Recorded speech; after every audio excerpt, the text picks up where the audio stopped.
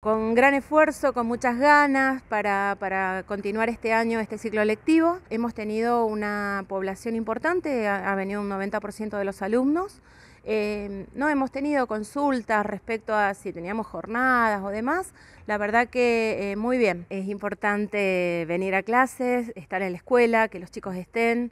Eh, bueno, eso, me parece que no es tan significativo tener que venir un feriado. Sí, se complica un poquito después del receso invernal, pero, pero no, estamos, estamos con muchas ganas. Desde la institución ya habíamos planificado eh, en esta semana hacer un, retome de actividades de, de, lo, de lo trabajado en, en julio, la primera semana de julio, y, bueno, ya en agosto comenzar otra vez con el desarrollo de los ABP, eh, de las secuencias didácticas que están planificadas. Tenemos el censo de fluidez lectora, eh, que es ahora en agosto, y bueno, esperándolo, la verdad que, para nosotros ha sido muy positivo y, bueno, con, con evaluadores externos también. Nuestra institución tiene evaluadores externos, así que bueno, esperando esto.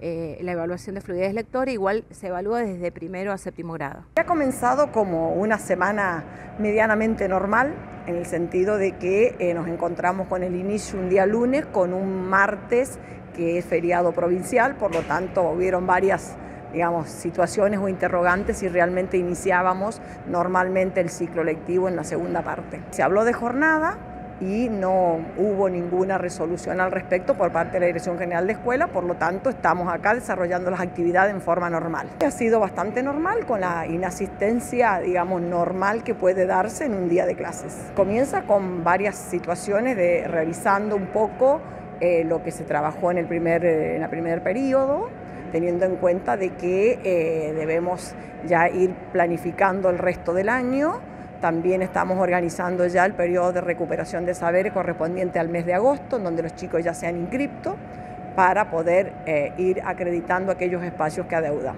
Hoy clases en forma normal, en cada horario que tengan los chicos.